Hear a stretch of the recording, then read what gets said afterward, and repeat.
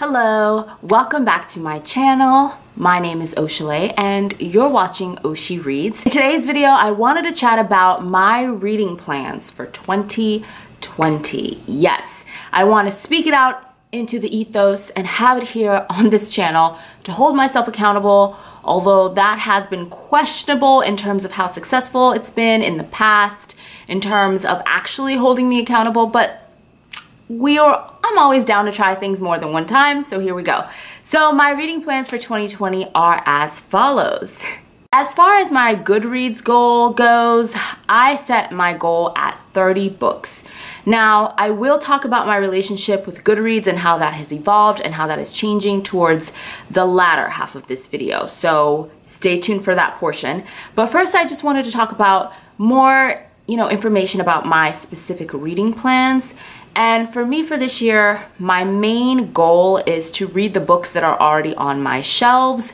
I am very, very, very adamant about not adding any more books to my collection until I have had a chance to truly decrease the amount of books on my shelf and or rather on my shelves and my TBR list that is huge. So I will be shopping my own shelves, so to speak. I'm not really going to be adding too many books to my collection already. I'm gonna be reading the books that I have, creating TBRs from the books that are already on my shelves, and really just prioritizing books I already own. The second half of my reading plan for 2020 is that I plan on utilizing my local library a lot more.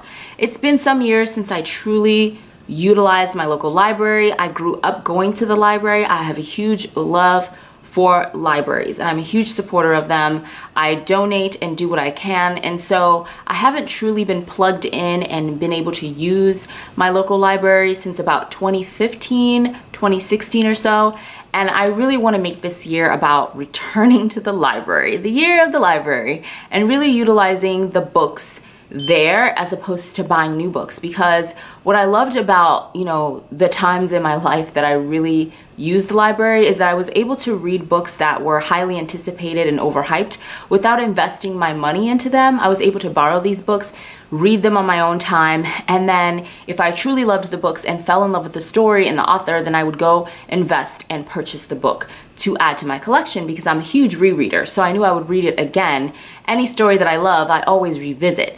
So I want to take the focus off of acquiring new books you know, sometimes books that I don't even like or may not even enjoy or may end up DNFing and I've just spent and wasted all that money. I will link my no buy year challenge video right now so you know kind of where my mindset is in terms of buying and buying books for 2020 but I really want to be able to take advantage of the fact that the library is free. I mean, yes, our taxpayer dollars pay for the resource and for the privilege, but if you have a library card, you're able to go check out as, you know, up to a certain amount of books, keep them for up to a certain amount of time, and really get the advantage of the reading experience and not necessarily have to invest in owning the book.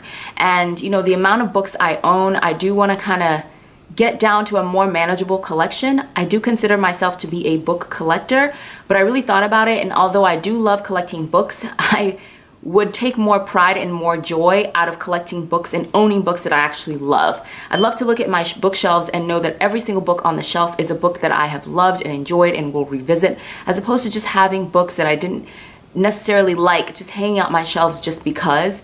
Uh, so that's kind of where I'm going with my reading plan for 2020 and beyond. So I will be utilizing my local library a lot more in 2020. Another thing that I've really put a lot of thought into in terms of my reading plans for 2020 and that you all may find surprising is that I actually want to read a lot less in 2020. And this is where we're going to slowly segue into the Goodreads part of this video. But I have come to the realization with a lot of introspection and deep diving, journaling, prayer, and some therapy, that in the past, I would say five to six years, the latter half of this past decade, I used reading as a coping mechanism for depression. And I used reading, reading as a coping, coping mechanism for when things weren't going well in my life. Reading has always been an escape for me. I love reading, and most days I do read. I spend a lot of time reading and I tend to hide away in these stories and hide away in a book. And I've noticed that I've chosen staying in to read a book over going out and socializing socializing a lot more as I've gotten older. And this year I really want to challenge myself to get out more and to kind of invest myself in things I used to enjoy. So I really used to enjoy, you know, doing things in the outdoors.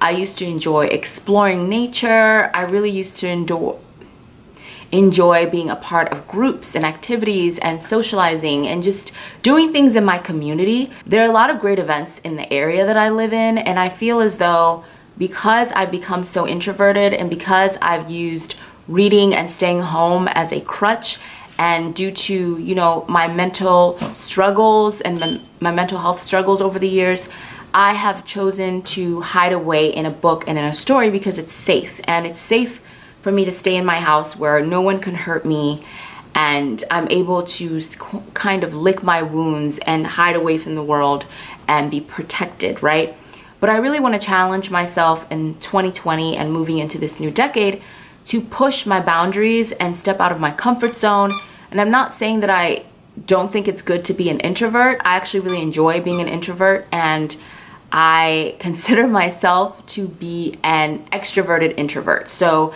I do enjoy socializing once I can get myself actually out to the social event and with friends. But then after the, after being out and socializing, I'm completely drained and I need to step away and recharge. And it usually takes me days to recharge from one social event. So I'm not saying it's bad to be an introvert. This is who I am. But I did used to be a lot more social, um, I would say throughout my 20s and earlier in this pa the past decade. I just lived outside my comfort zone a little bit more. I put myself out there a little bit more. I was more part of the community. I used to go to theater shows and be a part of groups and meetups and other events around I used to, like I said, explore nature a lot more. I was just more adventurous and I was willing to take more risks in terms of just experiencing life and meeting new people and experiencing the world. And I really do want to get back that side of myself that I've lost because of mental health struggles in the past five or so years. So I want to read less. And I want to read less because I want to focus on building back those strengths and building back that social muscle and enjoying my community and really getting out there because life is short and so much of our lives revolve around our jobs and our responsibilities. And when we have our free time, I feel as though, for me, I'm speaking for myself here, I feel as though when I do have my free time, I flake out a lot on, you know, meeting up with friends and doing things outside of my house and I would rather stay in and read. And like I said, I'm not saying that's a bad thing, but I've just noticed that for me personally, it stunted my personal development, it stunted my personal growth.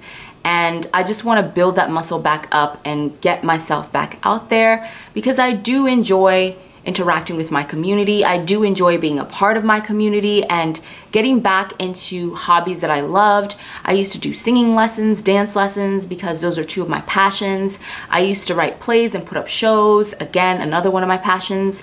I want to maybe think about maybe auditioning for a show in my community and acting again and just getting back those parts of myself that I've lost because like I said due to hard years and and mental health struggles and and I think that just really pushing myself to step outside of my comfort zone and to reclaim those lost parts of myself and my identity um, is going to be really good for my overall well-being and good for my personal growth. And I also feel as though to accomplish that, I will have to read less because I wasn't reading as much back then as I do now, as I have recently. So that is another one of my reading plan goals for 2020 is to read less and those are the reasons behind that. Now gracefully segueing into the Goodreads portion of this video, I don't like Goodreads. I'm just gonna come out and say it. Uh, there have been a lot of discussions about Goodreads here on this platform, so I'm not going to rant on and on and on. I'm just going to say that I don't like what Goodreads has become and what it's turned me into. What started as a platform for other people to review books and for us to share our love of books, share new books that are coming out, talk about the books that we are able to get ARC copies of and review early and things like that. And by ARC, I mean Advanced Reader's Copy, if you don't know what I'm talking about. What started as this just delightful platform for book lovers about the books that we love or don't love uh, has turned into a rat race of sorts with this, you know, Goodreads challenge that Goodreads really, really pushes every year, and everyone feels all of this pressure to read all of these books. And, you know, the fact that it tells you you're six books behind, you're 12 books behind, you're three books ahead, and it's all just, for me personally, it really messes with my mental. I do like the recording part of Goodreads, the fact that you can keep track of all of the books that you're reading and have read and love, that you can create shelves and folders and favorites and favorite lists, and you can keep up with your favorite authors and participate in contests. I love the community aspects. I love the fact that you can create book clubs. My book, book club, A Seat of the Table, a, wow, tongue is getting away from me with my words. My book club, A Seat at the Table book club, we have a pretty sizable Goodreads group on Goodreads for our book club and I fell off of utilizing that. So this is where I talk about, okay, I don't like Goodreads, you know that, you know my reasons. Now I'm going to talk about how my relationship with Goodreads will be changing in 2020. I will be utilizing Goodreads in a different way. Uh, before the whole like becoming consumed with the challenge of reading all these books and all that, I used to be really into reviewing books on Goodreads.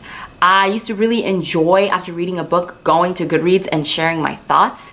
I really, really liked the way that I was able to kind of just immediately after reading a book and digesting it, to be able to transcribe that into text and into a well-written review in order to kind of record how I felt about that book at the time that I read it and share that with the community and get feedback and see other people's thoughts. So I want to get back to reviewing books on Goodreads.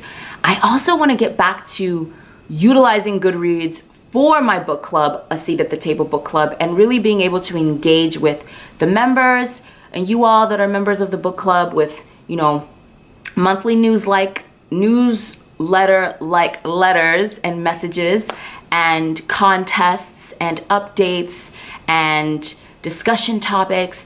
I want to utilize that part of Goodreads, the part that is actually really powerful, which is the community aspect of it, and get away from the competition of, oh, I have to read X amount of books and am I behind in my head, and sort of that rat race side of things, and go more towards the organic, original side of the platform, which was more about community and sharing and the love of books and reviewing, and maybe even ranting and talking about books that we don't like as much. So that's pretty much it for this video. In a nutshell, 2020 and Hopefully the rest of this decade is going to be a turning point in my reading. I'm really excited to push myself and get out there and to read less. Never thought I'd say that on this channel, but yes, I'm very excited to read less. And because I will be reading less, I will be a lot more selective with the books that I choose to read because as you all know, reading a book takes time and that's time that I want to spend developing other parts of my personality and reclaiming the things that I used to love to do, old hobbies and, and likes and loves and I'm really excited to re revamp my relationship with Goodreads and utilize it in the way that I feel is best for me and that is gonna benefit me the most and hopefully by extension benefit you all the most.